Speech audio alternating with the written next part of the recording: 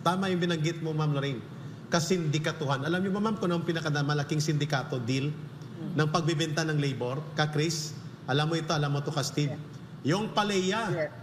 Phil- Yes, Philippine yung Paleya. Airlines Labor Employees Association Wow. na ibinenta Tama. nila kay Lusutan para matigil ang welga sa amount na 120 million pesos. So, No. nagharap-harapan tayo dito ngayon. At yan ay involved ang Communist Party dyan. Naalala mo mga pilot at mga stewardess Yes. nagwelga. Yes. At halos malumpo ang ah, pinakamalaking airline industry. Ang laban kasama ang bayan Sama-sama ang puwinan So actually meron 'yon. Mayroong ano, mayroong usapan 'yon. So may mga binibigay na suporta ang ah, itong ano itong Yanson Hmm. para lamang yung taktika nila ah, pasukin nitong KMU ang mga union, ang mga ah, pasukin nitong ng KMU ang ah, union ng series liner at organisahin at agawin agawin ito sa TUCP. Hmm. So may support ito binibigay, financial, logistic, mga sasakyan kahit pamasahe.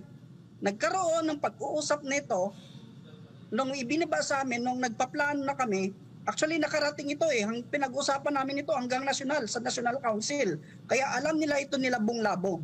No? At ng iba pang mga national officers ng KMU. Hmm. Ngayon, nung nasa Visayas na para mai-implement, nagkaroon kami ng ah, ano regional, ah, region-wide, region-wide ah, meeting, reg- region-wide consultation meeting ng KMU.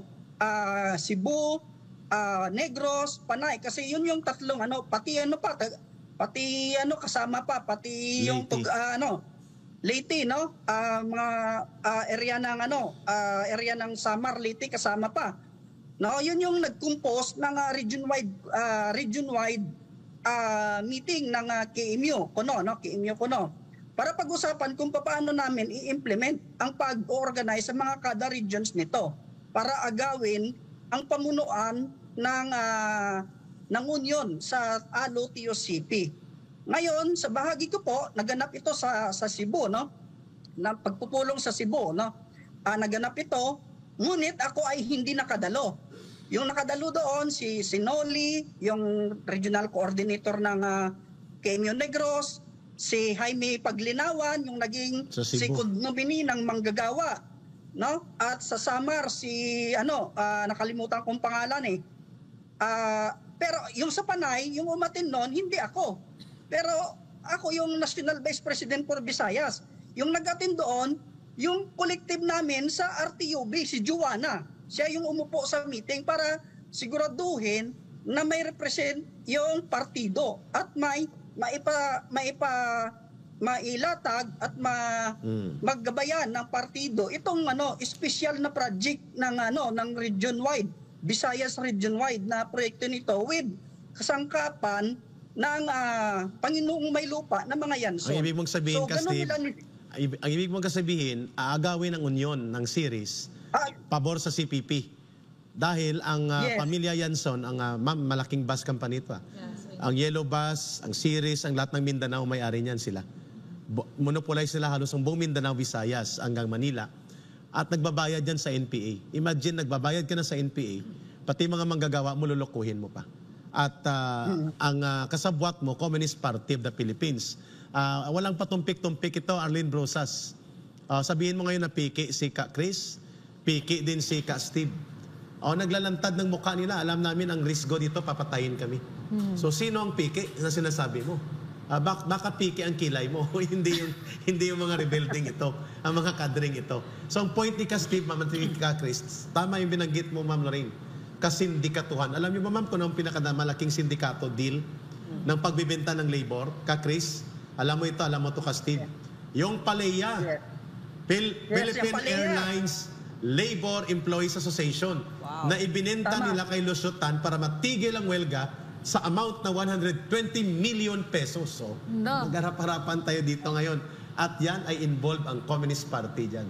Naalala mo mga pilot at mga stewardess Yes. nagwelga. Yes. At halos malumpo ang ah, pinakamalaking airline industry. Napasok talaga. Yes. Question, question. So, may mga, may mga Ayun. kaibigan na kasi ako na members ng Paleya. Yes. So, hindi nila alam. Hindi nila alam na may sa CPP. Hindi nila alam na may CPP component na akala nila ang pinaglalaban nila ay yung benefits nila. Correct. Pero actually yung goal ng CP, kasi CPP na sa likod nito, Opo. ay talagang pabagsakin ang Industriya. industriya. Lumuhod si Lusutan sa kanila. Yung 120 million na yung Aba, kaya, wait na yun. anong, anong nangyari? Punta ba yun? Kasi kanila ang welga. napunta. Oh, anong nangyari? Binigay ba yun? Ah, dun wala. sa- Yung sinabi ni Chris at Mika Steve, yun yun. Napupunta yun sa bulsa ng top leadership Ginamit lang ng ang mga CPP. ano, mga At ginamit yun sa manggagawa. pagbili ng mga armas, pagpundo sa mga top level cadre sa kanilang maluho na pamumuhay. So sa madaling salita, Sindikato. sa, ma- sa mga sa mga business owners na na medyo mahina pa utak ngayon, Yes. you never negotiate with terrorists. Never. Kasi ano, i, ah, they're going to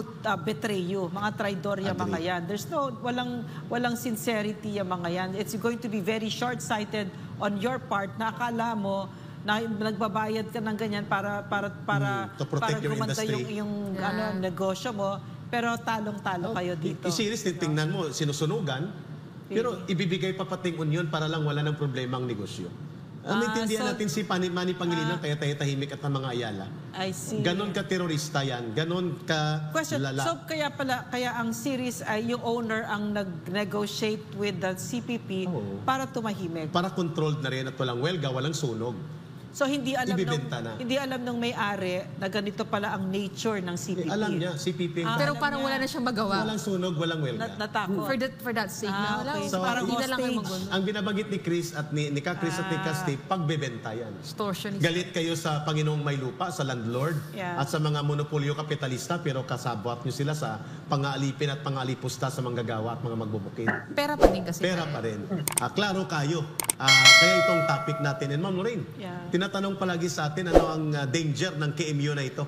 Mhm, Tama. They were able to close down more than 500 industry shops in the country for the last, tama ka Chris, no? for the last 30 years na nandyan sila, ang CPP.